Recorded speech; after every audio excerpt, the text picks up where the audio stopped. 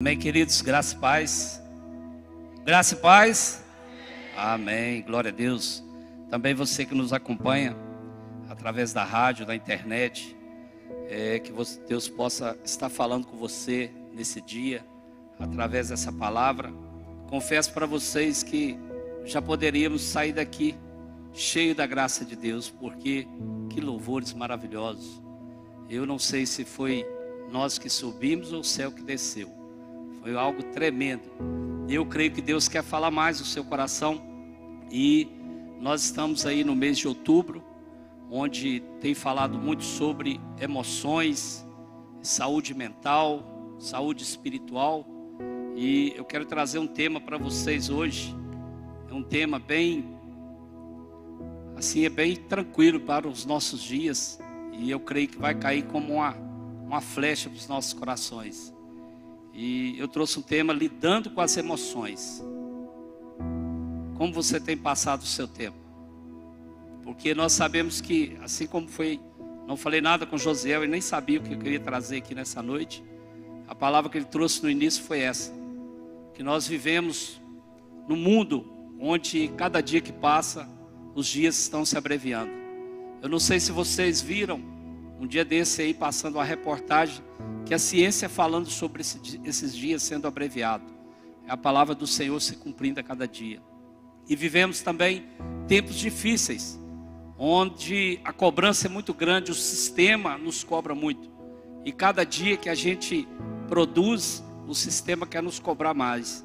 Mas eu quero te dizer que existe um Deus que está requerendo algo de mim, de você, que é somente que adore Ele em espírito e em verdade. E nós precisamos entender isso.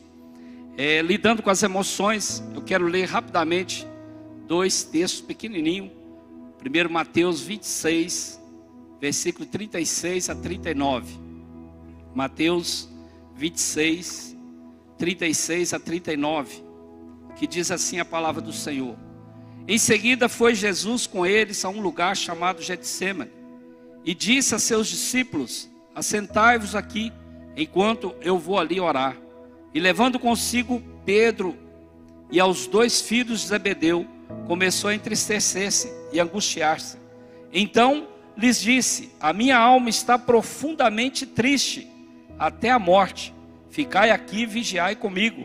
Adiantando-se um pouco, prostrou-se so, prostrou sobre o seu rosto, orando e dizendo: Meu pai, se possível, passe de mim esse cálice. Todavia, não seja como eu quero, e sim como tu queres. Um outro texto, Neemias, volta um pouco aí, Neemias capítulo 2, do versículo 1 ao versículo 3. Neemias 2, do 1 ao 3.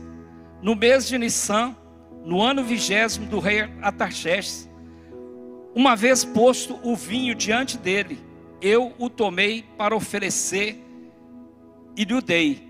Ora, eu nunca antes estivera triste diante dele. O rei me disse: Por que está triste o teu rosto? Se não estás doente, tem de ser tristeza do coração. Então, temi sobremaneira. Lhe respondi: Viva o rei para sempre. Como não me restaria, como não me estaria triste o rosto, se a cidade onde estão os sepulcros dos meus pais está sendo assolada e tem portas consumidas pelo fogo. Queridos, dois textos que nós vimos aqui que fala sobre a tristeza da alma. Pode se assentar. A tristeza do coração. E aqui você vê que o próprio Jesus, sendo homem, sendo 100% Deus, ele sentiu tristeza, a ponto de subir naquele monte e orar e pedir ao Pai que afastasse dele aquele cálice. Era, era um momento de tristeza. E também nós vemos aqui Neemias, um homem de Deus que trabalhava ali servindo ao rei, passou por um momento de tristeza. E o que, que tem a ver isso, pastor? O que, que é essa tristeza? Qual que é a definição de tristeza? Na Bíblia, o Senhor Deus nos diz que a tristeza é passageira, pois ela não dura para sempre. Glória a Deus por isso. Tem um Salmos que eu sempre cito eles, queridos. Salmos 30, versículo 5, na parte B, que diz assim: O choro dura uma noite inteira, mas a alegria vem pela manhã. Isso define tudo sobre tristeza. Mas também, além disso, Deus também sente tristeza, pois Jesus chorou e se compadeceu das pessoas que sofrem da tristeza profunda. Quantas pessoas tristes por aí? Triste porque não conseguiu concluir o mestrado. Triste porque não conseguiu tirar uma carteira de habilitação. Triste porque muitas vezes está longe da família. Uma cidade universitária onde muitas pessoas vêm de fora. E é um perigo terrível, queridos. Porque é interessante que quando a pessoa mora muito distante, ela tem que aproximar de pessoas que tragam alegria para ela, ela tem que aproximar de pessoas que possam te ajudar. E eu louvo a Deus pela igreja, porque sempre tem acompanhado, mas eu acho que ainda a gente precisa trabalhar mais nesse sentido. Mas olha as pessoas que moram mais perto, por exemplo, pessoa que mora aqui em Ubá, 70 quilômetros, 65 quilômetros. A pessoa vem para a universidade, daí ela começa, né, ah, vou ficar aqui na universidade, mas vou continuar frequentando a minha igreja, continuar frequentando o meu grupo de jovens onde eu estou ali. E aí ela vai, por um tempo, ela vai fazendo isso, porque a distância não é tão grande. Mas a partir do momento que ela vai aprofundando nos estudos, as coisas vão apertando. E aí ela vai, já não tem mais um período de aula, ela já vai ter dois períodos de aula. Daí a pouco ela tem que apresentar um TCC, ou seja, vai afunilando o sistema, vai fazendo com que essa pessoa, se ela não envolver com um grupo, se ela não buscar um grupo aqui na cidade local, ela começa a se perder. E aí, queridos, acarreta um monte de coisa. Porque quando nós falamos de emoções, muitas vezes quando nós sentimos essa tristeza, é algo que já vem corroendo lá de trás. E esse exemplo que eu estou dando aqui, por exemplo, a pessoa deixou de ir para o bar, frequentar o seu grupo. E aí ela fica em casa. Aí no final de semana, ela vai na geladeira e como que tiver ali, começa a alimentar mal, começa a dormir mal, afasta daquele grupo que já não, não está mais indo lá e não frequenta um grupo, uma igreja aqui na cidade, e aí começa a afastar de Deus, aí vem uma tristeza na alma. Mas Jesus quer trazer uma alegria para o seu coração. E isso aí, queridos, isso depende da nossa atitude. Já deparamos aqui, Josiel, com vários alunos que chegaram aqui. Olha, eu não sabia dessa igreja. Quanto tempo você está aqui na universidade? Quatro anos. E aí, queridos, às vezes eu fico até um pouco constrangido sobre isso. Será que a gente não poderia infiltrar mais? Será que a gente não poderia abordar mais essas pessoas? Eu me lembro que antes da pandemia, na, quando o pessoal vieram fazer a, a matrícula, nós reunimos um grupo aqui da igreja e abordamos ali. Eu achei muito lindo que os jovens abordaram os jovens que estavam chegando ao FV e os casais mais velhos aqui da igreja, mais experientes, abordaram as famílias. E foi algo tremendo. Mas aí veio a pandemia, tudo hoje é culpa da pandemia. Pastor, eu estou na tristeza por causa da pandemia. Eu estou passando isso por causa da pandemia. Mas a igreja precisa entender qual que é o papel dela. E nós precisamos também, queridos, começar a anunciar para as pessoas aí fora que existe um Deus que está trabalhando nas nossas vidas porque muitas vezes, queridos, as pessoas procuram um Deus de placa, mas não procuram um Deus da palavra. E aí vem aquela tristeza, vem aquela angústia, a pessoa começa a perder o sentido da vida. Quanto suicídio, quantas pessoas desistindo de tudo, quantas pessoas passando por situações difíceis. Então, queridos, assim como Jesus, assim como Neemias, eles tiveram aquela tristeza, eles tiveram aquele problema na alma, eu e você também, nós não estamos ilesos de passar por isso. Mas nós precisamos entender que Deus está no controle de tudo. E é interessante que dois versículos que me chamam muita, muita atenção, Romanos 15, 13. Ora, o Deus de esperança, que o Deus de esperança vos encha de todo gozo, ou seja, de toda alegria e paz em crença, para que abundeis em esperança pela virtude do Espírito Santo. Não perca o Espírito Santo, queridos. Porque essas emoções, elas são controladas pelas nossas atitudes. Se você ora muito, com certeza você vai passar menos dificuldade. Mas o grande problema do ser humano é quando vem os problemas emocionais, a primeira coisa que a gente deixa de fazer é de orar. Talvez a gente ora quando der, a gente lê a palavra quando der, e nós não podemos fazer isso, queridos. Nós precisamos ter uma vida na presença do Senhor. Nós temos que pedir o Espírito Santo para nos conduzir a cada dia. Provérbios capítulo 15, verso 23. O homem se alegra em responder bem, e quão boa é a palavra dita a seu tempo.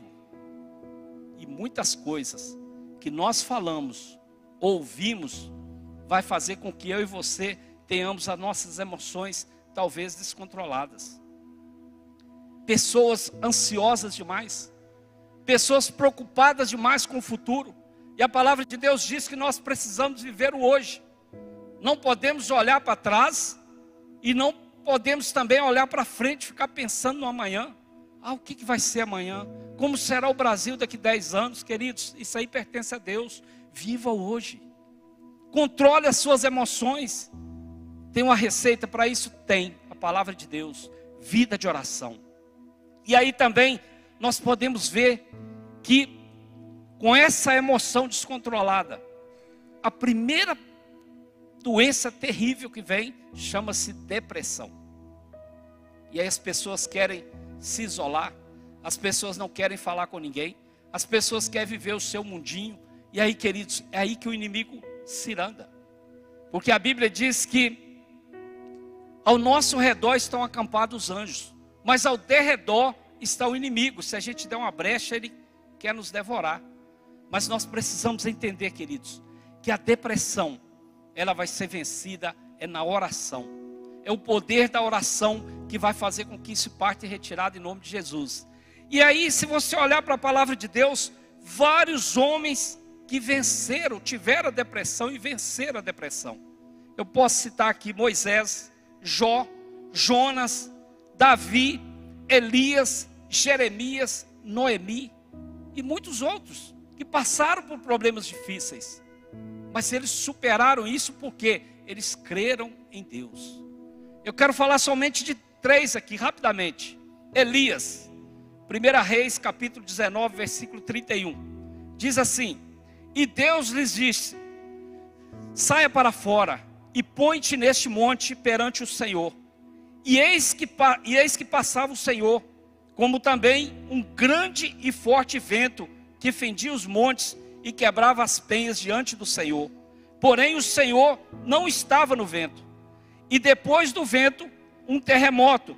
Também o Senhor não estava no terremoto. Olha que coisa terrível que Elias, ele era um homem de muita fé. Elias era um homem de muita coragem, mas ele passou por um momento de depressão. Ele teve um momento de dificuldade. Interessante que ele orava e milagres aconteciam. Algo tremendo acontecia à sua volta. Mas depois que teve uma grande vitória no Monte Carmelo, ele passou por essa situação. E ele, Elias, ele perdeu suas forças. Ele se sentia só, se sentia derrotado, se sentia assustado, se sentia um, um homem falho e com vontade até de morrer. E ele esqueceu dos feitos que Deus estava fazendo para ele. Isso não é diferente comigo e com você, queridos. Muitas vezes nós estamos, né, firmes com o Senhor, alegres com o Senhor, gratos com o Senhor pela vitória que Ele nos deu. Vocês que estão aí na UFV, glória a Deus por isso. Vocês que estão pretendendo entrar lá, Jesus vai abrir as portas, eu creio em nome de Jesus. Mas aí você entra com aquele gosto de gás e começa a perder as forças. Começa a se sentir sozinho, mas eu quero te dizer que Deus não te abandonou.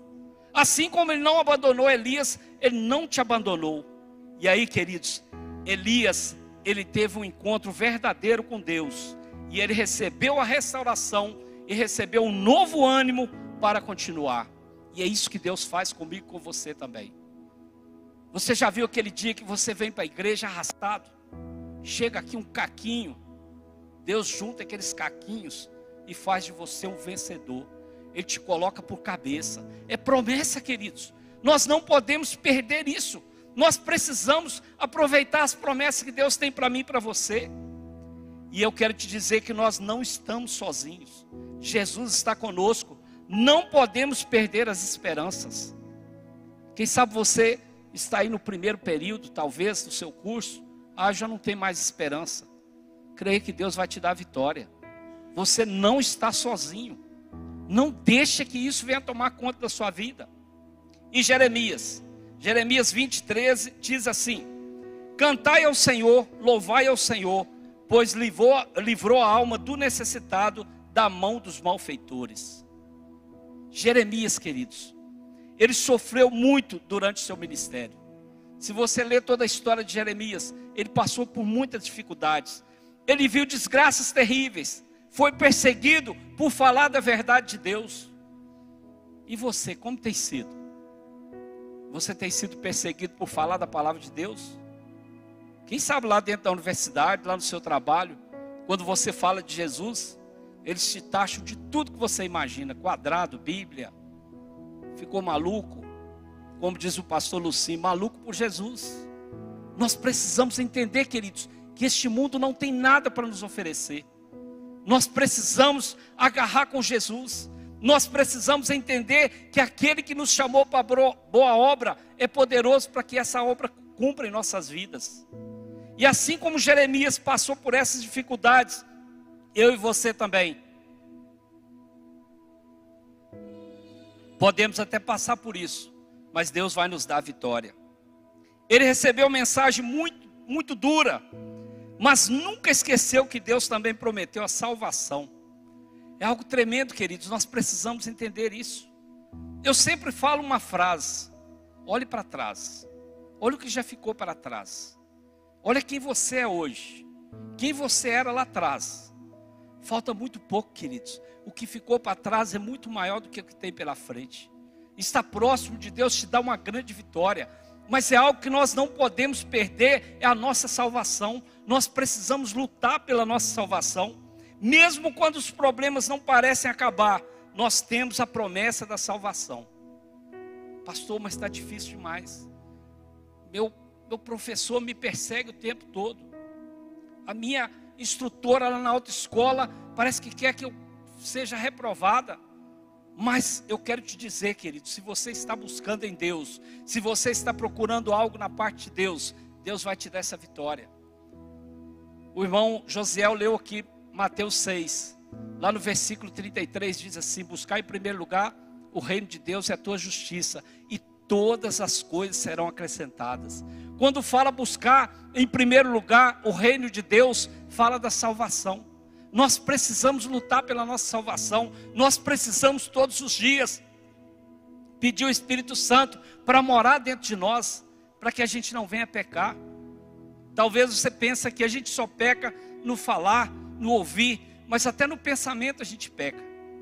E todos os dias nós precisamos pedir perdão a Deus. E a outra pessoa que eu queria citar aqui rapidamente é a Noemi. Lá em Ruth, capítulo 1, versículo 16, diz assim: Disse, porém, Ruth: Não, não, me, não me instes para que te abandone e deixe de seguir-te, porque aonde quer que tu fores, irei eu, e onde quer que pousares, ali pousarei eu. O teu povo é o meu povo, o teu Deus é o meu Deus. Olha que palavra tremenda, queridos.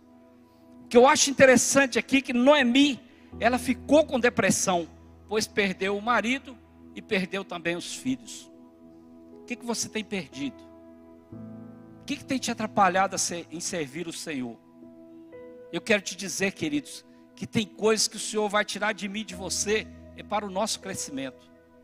Tem situações na nossa vida que nós precisamos deixar para trás. Se a gente assistir algum filme que não condiz com a palavra de Deus, a gente deixa de assistir. Se a gente está no celular acompanhando alguma coisa que não edifica em nada, que não acrescenta em nada, que não glorifica o nome do Senhor, deixe isso de lado. Eu sempre digo, queridos, que a internet é uma bênção, mas também pode ser uma maldição. Ela pode tirar o nosso tempo, ela pode roubar o nosso tempo, e muitas pessoas hoje passando, passando por situações difíceis por causa da internet. A gente tem feito muitas visitas. E essa semana me chamou muita atenção. Uma criança, uma criança de apenas 10 anos de idade, passando por uma situação muito difícil, algo que ela acompanhou ali na internet, através do, do TikTok. Então nós precisamos entender o que, que vai edificar nossas vidas, o que, que vai glorificar o nome do Senhor. E isso tem trazido uma perda muito grande, porque enquanto nós estamos infiltrados, quando nós estamos ali perdendo o nosso tempo na internet, a gente poderia estar lendo a palavra do Senhor. E aqui Noemi, ela perdeu o marido, ela perdeu os filhos, ela entrou em depressão, ela perdeu a alegria de viver e tentou se isolar da pouca família que restava.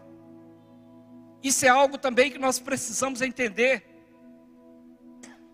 Muitas vezes nossos familiares, muitas vezes aqueles que estão ao nosso derredor, eles não vão entender a nossa mudança em servir a Deus. Um dia desse eu conversando com um jovem, ele falou para mim assim, pastor, muita coisa mudou na minha vida. E teve um momento que me trouxe uma tristeza muito grande, porque os meus amigos afastaram de mim. Os meus amigos não me convidam mais para nada. Mas eu falei para ele assim: Mas vai valer a pena, meu jovem, porque aquela vida que você levava lá atrás não ia te levar a lugar nenhum, muito menos a salvação. Mas você decidiu entregar sua vida para Jesus. E quando nós entregamos a nossa vida para Jesus, olha o que é feito aqui na igreja: apresenta uma nova família, são novos amigos, são novos ambientes. E vai valer a pena, queridos, a gente pagar esse preço, vai valer a pena a gente sair fora disso.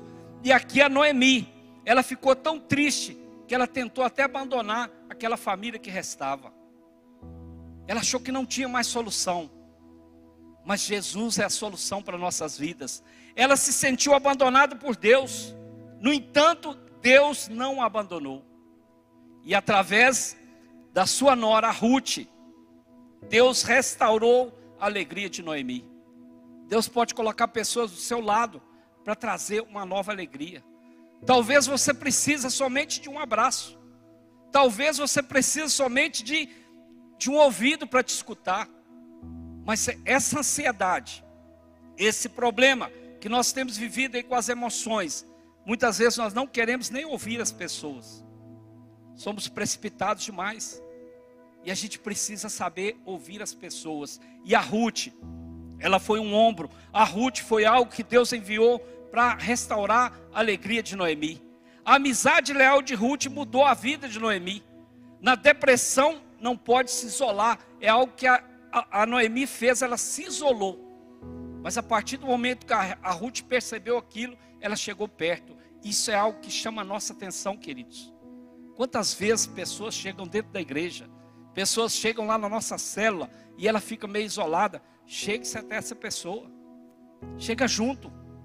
Vai ali, conversa. De repente a pessoa não quer se abrir, mas ora com ela, abraça ela. É isso que nós precisamos fazer. E Deus coloca amigos, Deus coloca irmãos no nosso caminho para nos ajudar. Deus coloca pessoas para dizer algo que a gente precisa ouvir. Mas muitas vezes, queridos, a gente está tão afadigado, tão atarefado, que a gente não para para ouvir Deus. E Deus pode usar pessoas para falar comigo e com você. Deus pode usar pessoas para caminhar conosco. Que maravilha é nessas células. Semana passada eu participei ali da, da célula do Vinícius e da, da Laís, onde eles fizeram a multiplicação. Jovens alegres, jovens fervorosos. Isso é algo tremendo, queridos. Nós precisamos ser essa igreja, ser essa pessoa que caminha junto. E um amigo, ele pode ser um agente de Deus para a sua restauração. Nós podemos ser agente de Deus para restaurar a vida de alguém. Quantas pessoas, queridos, estão vivendo uma vida de qualquer maneira, estão vivendo uma vida mesquinha, uma vida miserável, mas precisando tomar uma atitude, mas às vezes por ela só, ela não consegue fazer isso. Então nós precisamos ser esse amigo para dar a mão, chegar junto, caminhar com ela, fazer com que ela venha conhecer esse Deus que nós servimos. E aí, queridos, assim como os homens de Deus venceram a depressão com a ajuda de Jesus, não é diferente nos dias de hoje. Se tem pessoas que estão passando por isso, queridos, nós precisamos chegar juntos. E aí, trazendo isso para a vida prática, né? para a nossa vida no, no cotidiano, no dia a dia. O que fazer, pastor? Para viver, para lidar com essas emoções. O que fazer para cuidar da nossa saúde? Não é só saúde do corpo, não. Eu acho interessante que existe três tipos de saúde: a física, a espiritual e a emocional. A saúde física, né? Você ter um corpo sarado, fazer exercício, alimentar bem, isso aí você vai cuidar da sua vida física. Saúde física. Agora, saúde espiritual. Como que você cuida da saúde espiritual? Através da palavra de Deus, através do jejum, através da oração, através da sua devocional com Deus, da sua intimidade com Deus. Nós precisamos renovar nossa vida espiritual todos os dias. Vocês já perceberam que a nossa vida cristã parece aquele aquela montanha russa, né? Uma hora está lá em cima, uma hora está cá embaixo, uma hora está lá em cima, uma hora está cá embaixo. Mas nós precisamos viver uma constância em Deus. É fácil? Não é fácil. Mas nós precisamos alimentar o nosso espírito. Assim como a gente almoça, a gente janta, assim como a gente precisa alimentar o nosso corpo físico, nós precisamos alimentar o nosso corpo espiritual. E a saúde emocional? É essa que nós falamos. Coração, tristeza, depressão, pessoas sem, sem vida. Você olha para a pessoa, a pessoa está com o semblante caído, a pessoa está desestimulada, sem coragem para fazer as coisas. A gente precisa ser renovado a cada dia, queridos. Como eu mencionei aquele versículo, o choro dura uma noite inteira, mas a alegria vem pela manhã. Tem dias que a gente vai dormir cansado, tem dias que a gente acha que nem vai amanhecer, mas Deus renova as nossas forças, como foi falado aqui também. Deus é aquele que traz um renovo, Deus é aquele que restaura nossas forças. E aí, queridos, quando fala dessa saúde emocional, tem várias situações que nós precisamos vigiar. As redes sociais, eu já falei sobre isso, toma muito nosso tempo. E aí a gente começa a tomar as dores do outro. A gente começa a tomar partido de alguma situação, e isso não leva a lugar nenhum. Outra coisa, amizade com o mundo. Isso pode atrapalhar a nossa saúde emocional. Nós não podemos conformar com o mundo. Eu acho interessante que a gente está no mundo, mas não podemos conformar com o mundo. Porque estar no mundo é diferente.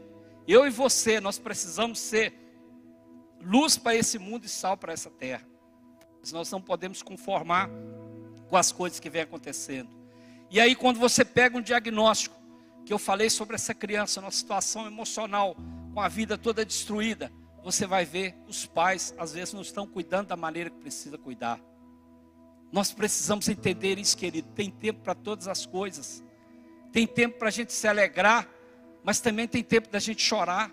Tem tempo de abraçar e tempo de deixar de abraçar. Nós vivemos esse tempo há pouco, há uns dois anos atrás, que a gente não poderia nem abraçar os pais, os, os amigos com medo de passar né, o vírus para aquelas pessoas. Então há tempo para todas as coisas. Então nós não podemos ter amizade com o mundo. Outra situação que pode trazer um dano terrível na saúde emocional é a desobediência.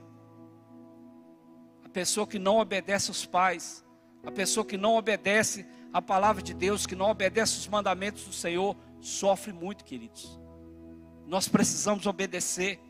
Outra coisa é o isolamento. Foi falado muito sobre isso. Esses homens, a Noemi, eles quiseram se isolar. Não fique assim, queridos. Busque a Deus. Se achegue a Deus e ela chegará a vocês. A palavra de Deus, ela diz que nós precisamos buscar a Deus em todo tempo. Eu sempre digo que buscar a Deus quando as coisas estão muito bem é fácil. Está bem lá na escola, a conta está no azul, a lata está cheia, é fácil. Mas o difícil, queridos, é buscar a Deus nos momentos difíceis. Mas é aí que nós precisamos entender o Deus que nós servimos. Eu sempre cito o irmão Antônio, hoje ele está com 91 anos. O irmão Antônio, toda vez que eu encontro com ele, irmão Antônio, como está? Ele fala, estou vivendo de glória em glória, de vitória em vitória. E essa semana passada ele me falou algo muito interessante. Falei, meu irmão, o que, que o senhor está achando? Ele falou, ó, Eu não me importo, pastor Davi. Se o Ribeirão São Bartolomeu estiver correndo em direção ao Porto Firme, eu estou servindo a Deus. Mas se ele estiver seguindo em direção ao FV, eu continuo servindo a Deus. É isso que nós precisamos entender, queridos. Ele cuida de tudo. Então não se isole. Não deixe que a sua saúde emocional passe por situações difíceis, porque pensamentos vêm. E é algo que nós precisamos. Deus te deu esse poder. Você tem essa autoridade no nome de Jesus. Quando vier pensamento ruim na sua mente, repreende em nome de Jesus. Por quê, queridos? O pensamento vem. Se você alimentar esse pensamento, ele vai cair no seu coração. E a Bíblia diz que a nossa boca fala do que está cheio o coração. Então se encha de Deus, se encha do Espírito Santo. Não se isole. Está precisando de uma ajuda? Busque ajuda. Olha o seu líder de célula, o seu discipulador, o seu colega de trabalho, o seu colega lá da faculdade, da universidade. Peça ajuda. E eu creio, queridos, que nós estamos prontos para abençoar, porque quando nós abençoamos, nós somos abençoados. E outra coisa que atrapalha muito a saúde emocional é a ira. 2 Coríntios 5,19. Isto é, Deus estava em Cristo, reconciliando consigo o mundo não lhes imputando os seus pecados, e pôs em nós a palavra da reconciliação. Olha que tremendo. Quantas pessoas que por causa da ira têm problemas de ordem mental. Ah, não, eu estou irado, mas é coisa passageira. Mas, é, querido, se a gente alimentar isso, a Bíblia diz: irai-vos, mas não pequeis. Eu sempre digo que o melhor lugar para testar a gente é no trânsito. Oh, que prova que a gente passa, viu? E a gente fica mais crente lá no trânsito. Passa pela direita, outro passa pela esquerda, pedestre atravessa da sua frente, para, sem, entra numa rua sem dar uma seta. E aí você tem que dar glória a Deus. É fácil dar glória a Deus nesses momentos. Então não deixe a ira dominar a sua vida. Porque isso pode trazer algo terrível. Isso pode ser problema para a nossa saúde mental. E também, queridos, normalmente a pessoa não quer morrer, ela quer matar ou ferir aquilo que a está ferindo. Porém, por causa da ira, toma esse caminho tão terrível. Pessoas que suicidam. Isso aí foram pesquisas que fizeram. A maioria dessas pessoas, a primeira coisa que vem é a ira. Aí causa um problema mental e a pessoa comete suicídio. Muitas pessoas perdendo a vida por causa disso. Você possui uma emoção chamada ira, mas ela não tem que estar sob, não tem que estar sobre o seu controle. Ela precisa estar no controle de Deus. Porque eu, queridos, eu não consigo dominar a minha carne. Eu preciso lutar contra a minha carne todos os dias. A Bíblia diz que o espírito está pronto, mas a carne é fraca. Então nós precisamos eliminar a vontade da carne. Como pastor? Orando, jejuando para queimar a nossa vontade. Fazer a nossa vontade é muito fácil, queridos, mas fazer a vontade de Deus é necessário. Então, se você quer ter uma saúde espiritual abençoada, se você quer ter uma saúde emocional abençoada, procure orar, procure ir até a Deus, porque eu creio que Deus tem algo tremendo para nossas vidas. E é interessante eu falei lá no início sobre essa semana, né, esse mês aí da desses problemas emocionais. Essa semana agora eu queria muito assistir essa palestra que teve lá na universidade. É uma palestra sobre vida acadêmica e saúde mental, desafios e possibilidades. Foi o pastor Alexander de Almeida, lá da Universidade Federal de Juiz de Fora. Que palestra, queridos. Eu peguei só um trecho daquela palestra. E eu não sei se aquele homem é cristão ou não. Mas eu achei interessante que ele trouxe um dado, que esse dado foi em janeiro de 2022, e ele, ele foi apresentado agora em agosto de 2022. Ele fala do florescimento humano em forma de um U. Achei muito interessante isso, José. Que ele fala que da idade dos 12 aos 42 anos de idade. Aí você, essa forma do U, você começa ali decaindo dos 18 aos 25, você passa por uma decadência e depois vai subindo. E ele falou que, é, de acordo com essas informações, com essas pesquisas que eles fizeram, esse dado ele está em declínio, ele está achatando, não está mais fazendo aquele U. Por quê? Por causa da saúde mental. Eu achei tremendo, porque eu já tinha preparado essa palavra, eu já estava trabalhando essa palavra há mais de um mês. E aí ele falou quais são as possíveis causas para a gente não encontrar isso que né, a gente precisa, né? Buscar em Deus todos os dias. Olha só as causas que ele trouxe que eu achei muito interessante.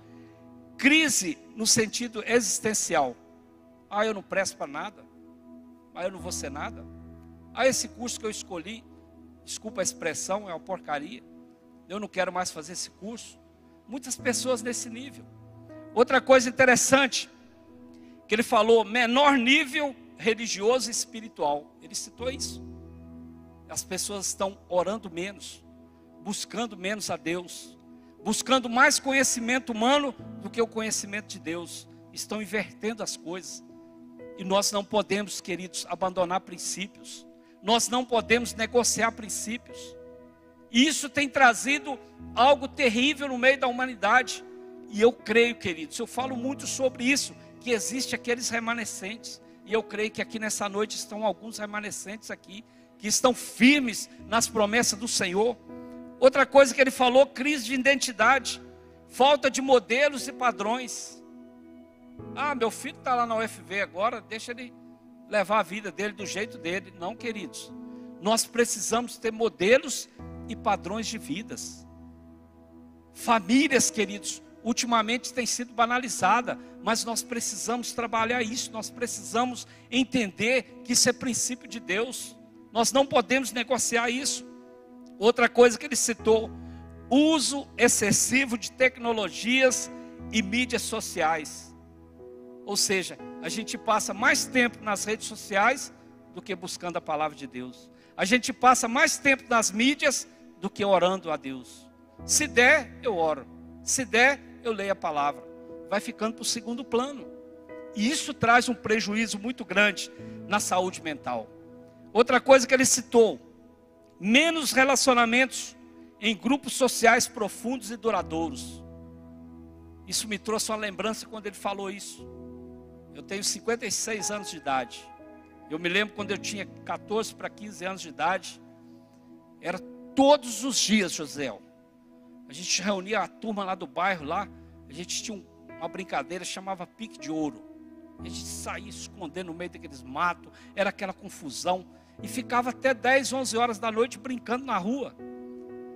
E me chamou mais atenção ainda que a rua onde a Lívia e o Lucas moram, tem uma quantidade de crianças que ficam brincando na rua de futebol, de bicicleta e fazendo atividades na rua. Aquilo me chamou atenção. Falei, olha, ainda existe aquelas crianças que estão buscando esses grupos sociais profundos e duradouros.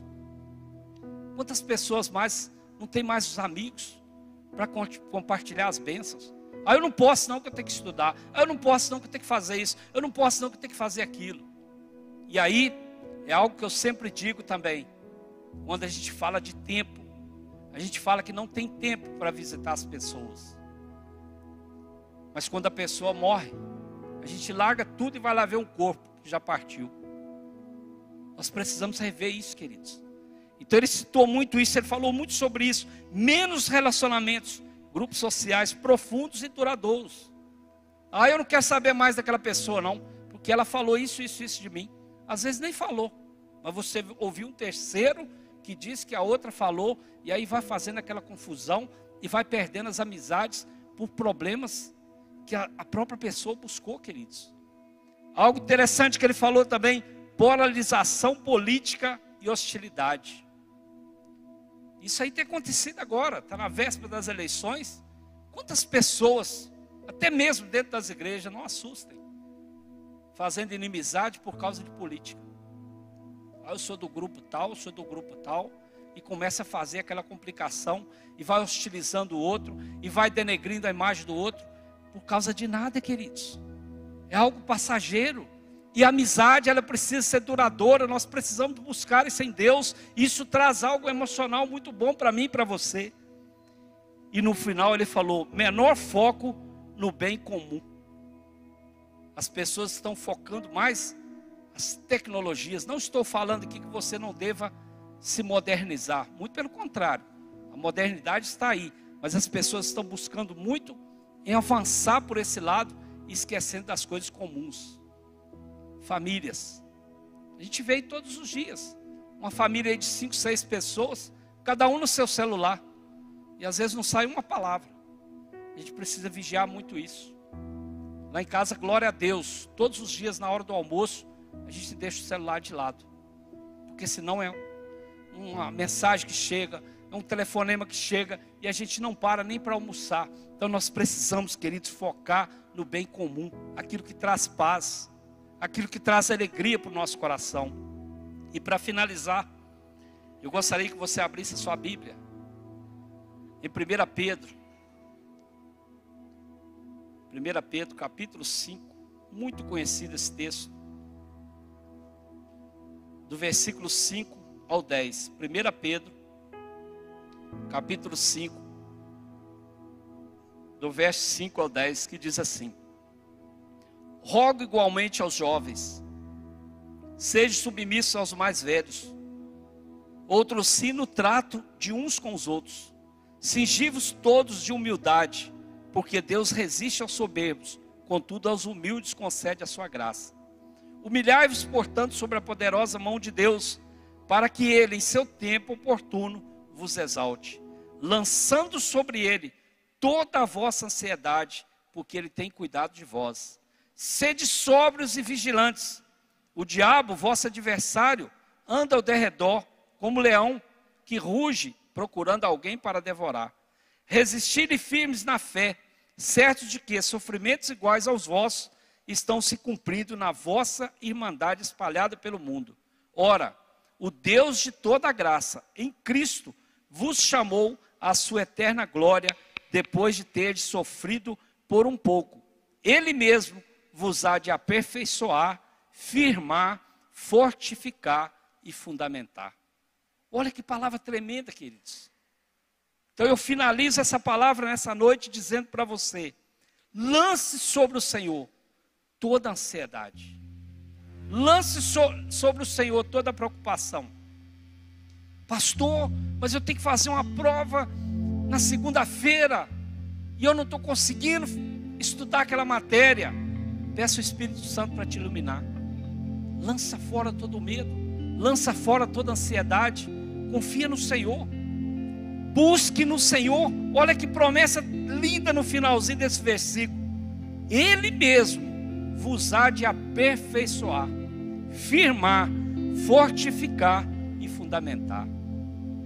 Queridos, nós precisamos tomar posse daquilo que o Senhor tem para nossas vidas.